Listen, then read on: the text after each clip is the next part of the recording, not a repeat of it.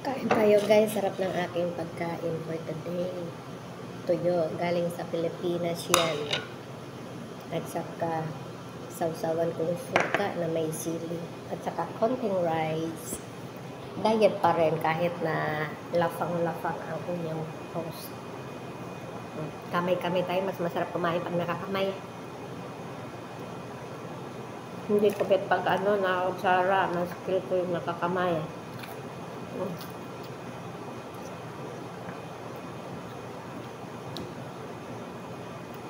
The best ang almusal pag ganito.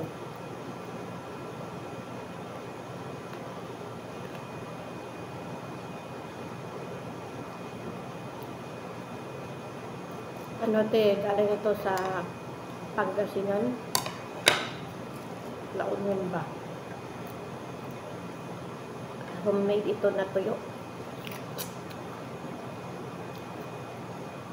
Dala ito ng friend ko na galing sa Pilipinas. Masarap kasi hindi siya makakap.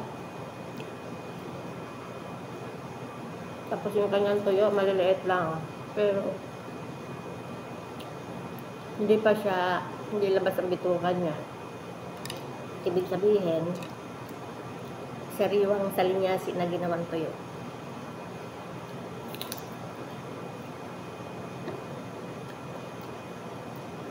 Masira yung ano mo dito, dieta sana.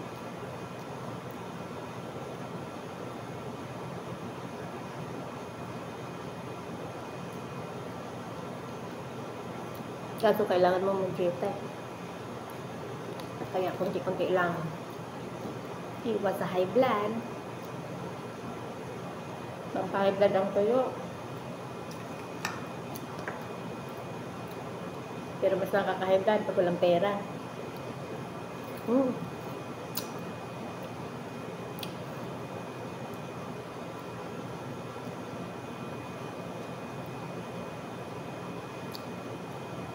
Sarap talaga.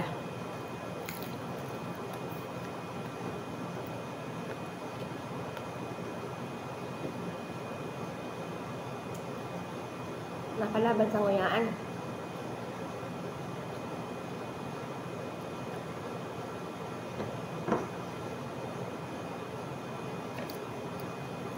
Maliliit lang siya. Pero ang sarap niya. Mm.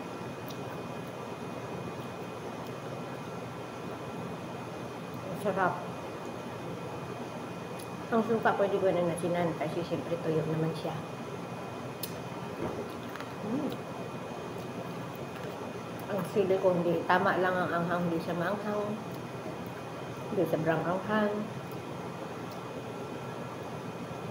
May anghang naman. Kunting anghang lang.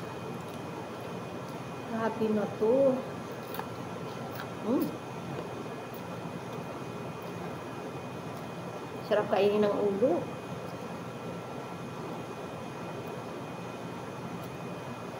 Walang tapon. Mm.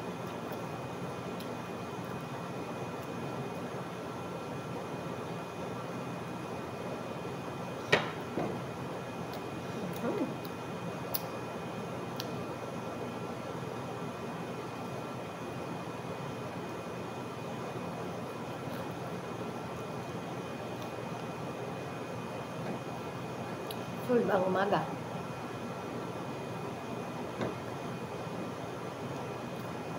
Busog si Tami ko.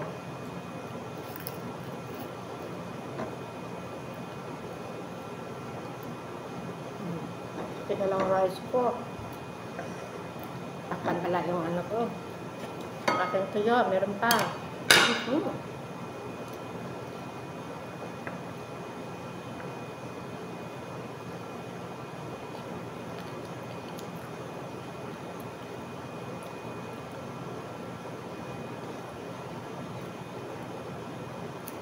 ito nakakamiss na pagkain.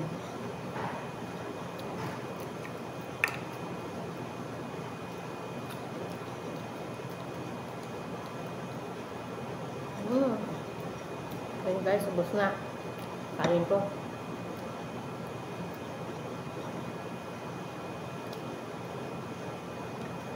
Sarap ang mapapaksa na. Fair enough na. Baka may blood.